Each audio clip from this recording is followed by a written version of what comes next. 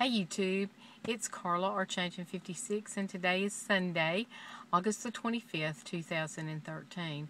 And I know I normally do my updates on Monday, but I had a little time to kill, so here I am. Um, I'll just go to the numbers um, in September of 2011, which is when I started my six-month documentation uh, with my primary care physician. I weighed 221 pounds and on the day of surgery, which was June the 18th, 2012, I weighed 193, and uh, today I weighed 117. So I'm still maintaining. I go up and down depending on the, well, too much information, the poop situation. Last week I was 115, today I was 117, and I've been up and down, you know, all week long, but that's where I maintain is in that, that little three, two to three pound range, so I'm good. Um, nothing's really changed. I did eat two real meals yesterday. For me, that's big. And I ate a half a piece of wheat toast for breakfast yesterday.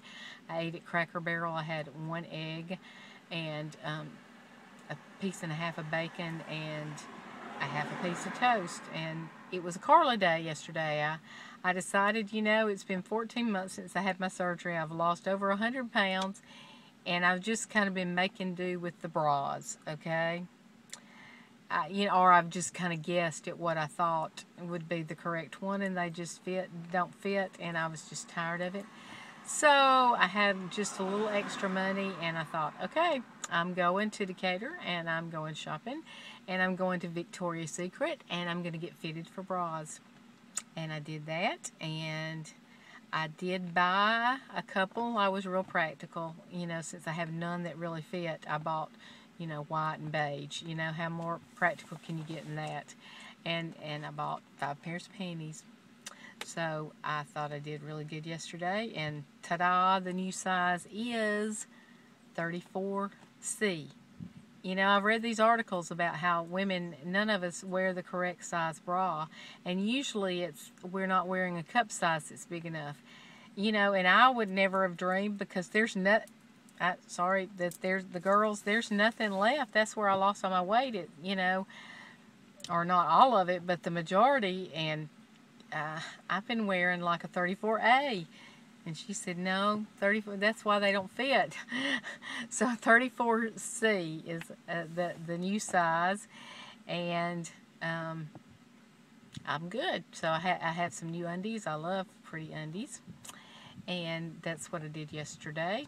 Um, I, I, did a lot of shopping. I didn't really buy anything else. Um, other other than the underwear that was that was enough. That was like a major investment. Well not really but you know y'all know how much they cost.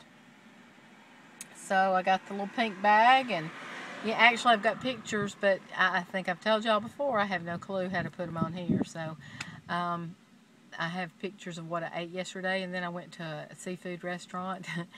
And they had these great looking uh, lunches but I was by myself I'm going, there's no way I can eat all this food.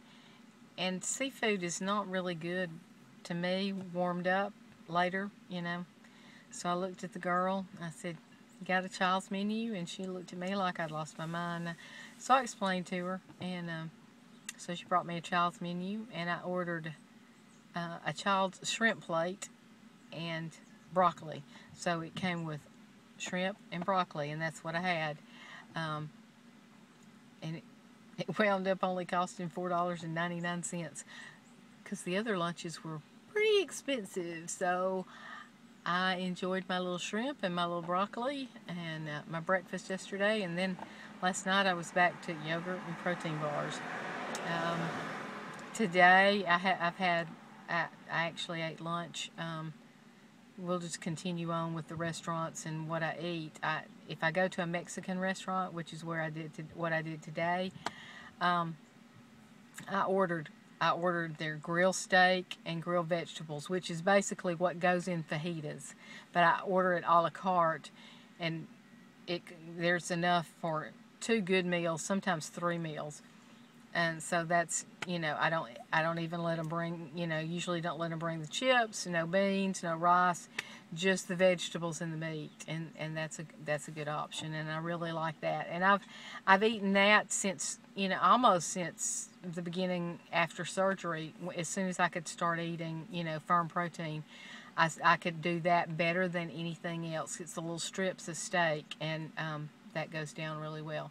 So that's another thing I don't think I did in my food video um, last week that that I also eat. Um, I'm waiting. I'm going to an organ concert. Our minister of music is um, has resigned and he's leaving, and he's super talented, and he's doing an organ concert today. It's his last day.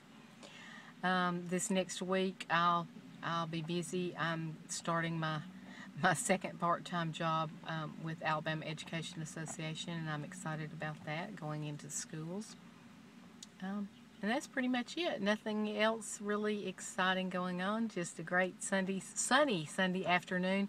We've had so much rain, and it's finally kind of dried out, and the rain has stopped for a while. And I know some people haven't had rain, but we've had our share of rain. Um, so I'm glad to see the sun, and it's actually warmed up. I mean, for August in Alabama this year, it's been crazy. It has not been over 90 degrees, and usually we're between 90 and 100 the whole month of August with humidity, and it's miserable. Has not been miserable uh, at all this year. Um, we'll probably pay for it in one of two forms. Either it's going to get really hot for a little while, or we're going to have a really early bad winter. And I know some of you think, well, what does it do in Alabama? It gets as cold here as it does anywhere else. It snows here, but what we when we have problems, we have ice storms because before the snow comes in, everything freezes here, and we have to deal with the ice. Um, so if it's a really bad winter, that's usually what we have.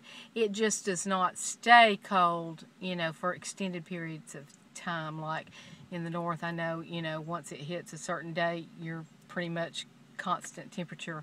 In Alabama, you wait, you know, 20 minutes and it's going to change. Well, not really 20 minutes, but um, it does get really cold here in the winter, and we do have snow and we do have ice. Um, and the uh, man that I'm sitting with just swears that the last time we had a really bad winter, um, it was a summer like this, and he, he's predicting a really bad winter and he's been around 92 years, so I think he should know. I, I'm sitting at the playground at elementary school, and their cars just coming back and forth. Hope you can hear me. Okay, I am going to say goodbye, and I will try to get this uploaded. Hope you all have a rest of a wonderful, fabulous Sunday and a great week next week. Go out and rock your journey. Hugs to you. Bye.